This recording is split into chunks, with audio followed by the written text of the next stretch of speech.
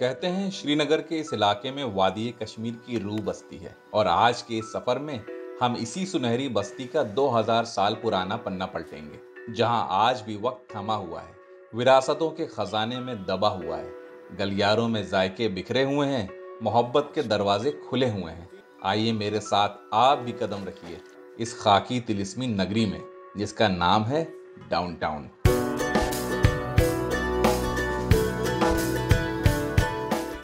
सुबह उठते ही पाँचवें दिन शादी के इस घर में मैंने डाउनटाउन घूमने की अर्जी कई लोगों को लगाई। आज हम जा रहे हैं डाउनटाउन तो आखिर में ये ज़िम्मेदारी दूल्हे ने अपने ऊपर जैसे ही ली मैं तैयार होकर फ़ौरन गाड़ी में बैठ गया। और अगर आप सोच रहे हैं कि हम कौन हैं तो ये हैं यूनिस हसन और मैं हूँ गौस बजाज इस कहानी का सूत्रधार। कश्मीर के इन 2000 सालों के इतिहास में शुरू के 800 साल ये कश्मीर पहले बौद्ध धर्म, फिर हिंदू धर्म का केंद्र रहा है। फिर नवी शताब्दी में कश्मीरी शिव भक्ति ने अपनी जगह बना ली। और इसके बाद तेरह से लगभग 200 साल तक कश्मीर मुगल सल्तनत की सरपरस्ती में रहा। और औरंगज़ेब के गुजरने के बाद सत्रह से दुरानियों ने ये बागडोर अपने हाथों में ले ली, जिसको राजा रंजीत सिंह ने 1819 में फतेह किया। जब अंग्रेज़ों ने 1846 में पहला एंग्लो सिख युद्ध जीता तो ब्रिटिश हुकूमत ने जम्मू के राजा राजा गुलाब सिंह को रियासत कश्मीर का नया सरपरस्त बनाया और सन 1947 से हिंदुस्तान के सर का ताज है कश्मीर। लेकिन हुकूमतों की इतनी परतें चढ़ी होने के बावजूद श्रीनगर का डाउनटाउन 2000 साल से आज भी वहीं का वहीं है।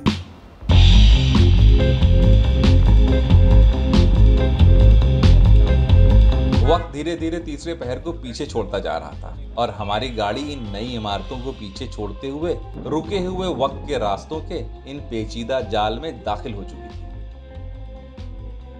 रेड़ियाँ छोटी छोटी चल रही हैं और ट्रैफ़िक तो ऑफकोर्स है ही। अब गलियाँ भी धीरे धीरे थोड़ी थोड़ी तंग होने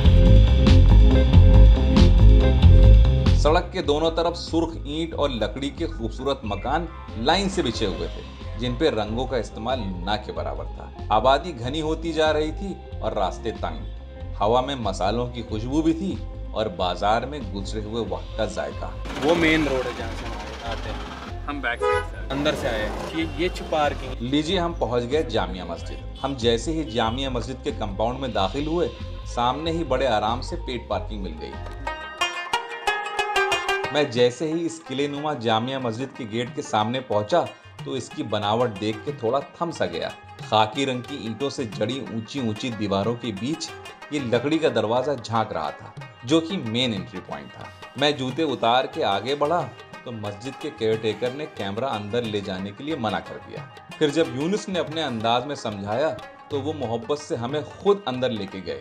और जामिया मस्जिद के इस शाही सहन में मैंने जैसे ही कदम रखा तो मानो 600 साल पीछे चला गया। दिल्ली की जामा मस्जिद से बड़ी है कि छोटी है? ये 28 करना ज़्यादा ही बड़ी उससे ज़्यादा। उससे ज़्यादा बड़ी है? इसके पीछे भी कुछ है क्या? कैंपस ये इतना ही है? वहाँ से तो फिर ये जाते हैं अंदर का जैसे यहाँ से है ना हम्म। भी ऐसे ही। है अच्छा अच्छा। अच्छा जामिया मस्जिद की तामीर सुल्तान सिकंदर शाह ने तेरह सौ चौरानबे में की थी। पर्शियन और बौद्ध पगोड़ा के बनावट से असर लेती ये एक लाख छियालीस हज़ार स्क्वायर फीट की जामिया मस्जिद के चारों रुख में चार लकड़ी के बुर्ज हैं जो देवदार के 48 फीट ऊँचे और 6 फीट मोटे 32 कॉलम से जुड़े हुए हैं। और बाकी पूरी इमारत भी 21 फीट ऊँचे देवदार के 346 कॉलम्स पे बनी हुई है जिसके पंजे शहतीर की लकड़ी और लोहे से बनी इस छत को जकड़े हुए हैं। बाकी आपको हिंदुस्तान में जो मस्जिदें दिखेंगी वो ज़्यादातर आपको डोम शेप में दिखेंगी। यहाँ पर ये कॉनिकल स्ट्रक्चर है। मैं मस्जिद का जायजा लेने के लिए आगे बढ़ा तो इस ईवान पे नज़रें ठहर गईं। इसमें सुर्ख ईंटें किसी नक्काशी की तरह बड़ी खूबसूरती से जड़ी हुई थी। जिसका हर एक रेशा बिल्कुल सीधी लकीर सा था। और आगे बढ़ा तो किले नुमा बादामी सरहद की दीवारों के बीच ये सब्ज सहन चिनार के दरख्तों के साय से ढका हुआ था और इन लाल फूलों से रास्ते की हद बनी हुई थी, जिसके चौराहे पे पानी से भरे इस दायरे में फव्वारा लगा हुआ था। परिंदे यहाँ अपने प्यास बुझाते और दिन भर लगातार इस चौहद्दी की निगरानी भी करते। फिर मैं मस्जिद के उत्तर रुख वाले ईवान में दाखिल हुआ, जिस हिस्से में औरतें नमाज़ पढ़ती हैं। लेकिन इस वक्त ये खाली है। रोशनदान से छनती हुई रोशनी की वजह से ये देवदार के साबुत पेड़ के खंभे सोने के मालूम हो रहे थे। मेरी नज़र इस हिस्से के जिस कोने में भी जा रही थी, मुझे इंसान की कारीगरी और हुनर पे हैरानी हो रही थी। लकड़ी का होने के बावजूद ये स्ट्रक्चर्स इतना ज़्यादा मज़बूत हैं। बहुत ज़बरदस्त बहुत खूबसूरत है ये। कुछ देर तक मैं इस मस्जिद की रूह को जज्ब करता रहा कि अजान की आवाज़ डाउनटाउन के घरों में दाखिल होने लगी और नमाजी मस्जिद में आने लगे। नमाज़ का वक्त हो चुका था इसलिए मैं बाहर आ गया। Thank you thank you thanks बहुत शुक्रिया थैंक यू मुझे बहुत ज़्यादा भूख लग गई थी। मेरी नज़र मस्जिद के सामने भीड़ से गिरे इस खोचे पे पड़ी। बस फिर क्या था? हम भी उसी भीड़ में शामिल हो गए। तो क्या कहते हैं? मसाला। श्रीनगर के स्ट्रीट फ़ूड का बहुत अहम हिस्सा है ये ज़बरदस्त जायका जिसको मसाल लवास कहते हैं। इस कोचे का सेटअप बहुत मामूली है, लेकिन सलीका दिख रहा है। प्लास्टिक के लाल स्टूल पे बैठे इस दुकानदार ने प्लास्टिक की एक क्रेट के ऊपर एक गहरे एल्युमिनियम के बर्तन में दूधिया, मखमली, नमकीन, उबली हुई मटर ऊपर तक भरी हुई है और ये तसला एक दोहरे कपड़े से ढका हुआ है, जिसके ऊपर रखे एक स्टील के भगोने में सफ़ेद रंग की चटनी झाक रही थी। इस सफ़ेद चटनी में दही के साथ कुतरी हुई मूली, प्याज, हरी मिर्च और धनिया घुटी हुई है।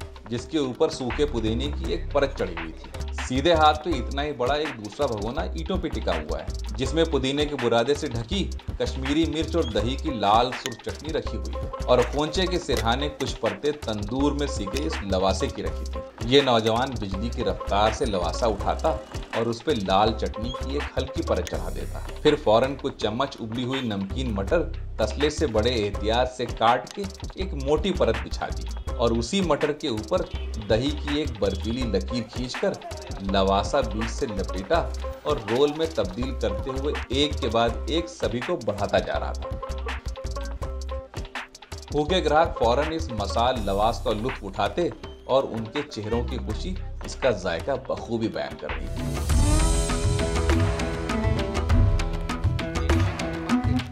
हमने भी एक फुल और एक हाफ़ लवासे का फरमान जारी किया। इशारा मिलते ही दुकानदार ने एक लवासे का आधा टुकड़ा किया और उसी तरह हल्के हाथों से पहले लाल मिर्च की चटनी मली और ऊपर मसले मटर के कुछ गुच्छे और दही की चटनी रख के लपेट दिया और साबुत लवासे का रोल भी ऐसे ही बना के हमारे हवाले किया।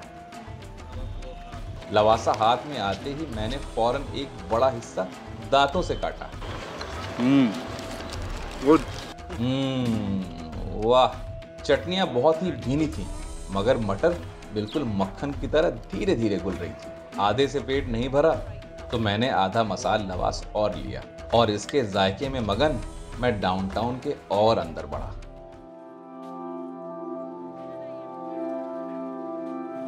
सूरज की रोशनी सुस्त हो रही थी और डाउनटाउन सुनहरा। हम इस खूबसूरत बाज़ार से गुजर रहे थे कि मेरी नज़र इस दुकान पे पड़ी, जिस पे बड़ी नायाब चीज़ों के ढेर लगे हुए थे। अच्छा गोगजहा अच्छा this is this thing shalgam saag Okay, and okay. these are uh, tomatoes. Uh-huh. and these are brinjal. All dry stuff all dry stuff. It is done for बर्फ़ के मौसम में पूरे कश्मीर में धूप में सूखी इन सब्जियों का इस्तेमाल होता है। लौकी से लेकर टमाटर कश्मीरी मिर्च से लेकर साग जिसके ढेर इस दुकान पे बखूबी लगे हुए हैं। यहाँ है कुछ पुराने घर दिख रहे हैं। बाज़ार के बीच से गुजर रही इस गली से हम जैसे ही डाउनटाउन में दाखिल हुए, मानो गुजरे हुए वक्त में समाने लगे। कहते हैं डाउनटाउन लगभग 2000 साल पहले तीसरी शताब्दी में राजा प्रवर सेना ने बसाई थी। झेलम नदी के साहिल पे बसी इस आबादी को यहाँ शहर खास भी कहा जाता है। और शहर खास की ये तिरस्मी गलियाँ जैसे जैसे हम भेजते जा रहे थे, वक्त भी पीछे होता जा रहा था। नज़रें उठा के मैं घरों की बनावट देख रहा था। यहाँ लगभग सभी मकान तीन मंजिला थे और हर मकान ईट की सुर्खी बिखेर रहा था जिसमें से दर्जनों आँखें सड़क में झाँक रही थी। पता नहीं मैं इनको देख रहा था या ये मुझे। कितने पुराने घर हैं हाँ पुराना घर है। ये भी पुराना घर है ना? ये वाला घर कितना हाँ, पुराना है? ये पुराना है। डेढ़ सौ साल? हाँ, डेढ़ दो हाँ, सौ साल। सन 1850 के आसपास से मैंने सुना है कि यहाँ इतने पुराने घर हैं और जो आर्किटेक्चर का स्टाइल है, वो आप लोगों को कश्मीर में आई थिंक किसी और इलाके में नहीं मिलेगा। आई थिंक ये भी मेरे ख्याल से बहुत पुराना घर होगा।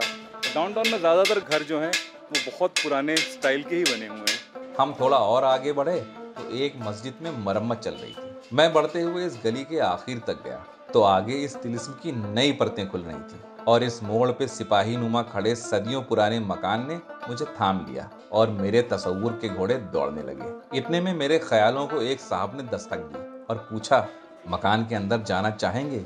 मेरी आँखों में चमक उठी और मैं उनके पीछे पीछे चल दिया। इस नौजवान ने जैसे ही ताले को खुल जा सिमसिम कहा 300 साल पुराना वक्त खुल गया। पड़ोसी का घर है और ये मेरे ख्याल से ये कितना पुराना होगा ये घर? तकरीबन दो ढाई सौ साल दो ढाई सौ साल पुराना घर है ये। इसके अंदर और एक चीज़ है इसमें इसके अंदर गुफा भी है।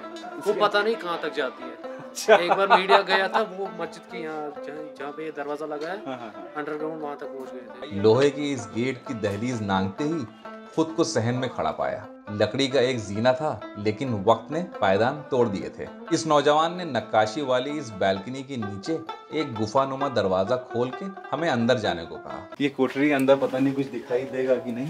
तो यहाँ से सीढ़ियाँ ऊपर जाती। मोबाइल की रोशनी में दाखिल हुआ तो सामने धुंधला सा जीना दिखा। तो मैं और यूनिस दबे पाँव इस घुमावदार पतले जीने से ऊपर चढ़ने लगे। और इसमें ये भी रूम है? एक ये रूम कोई दिख रहा है।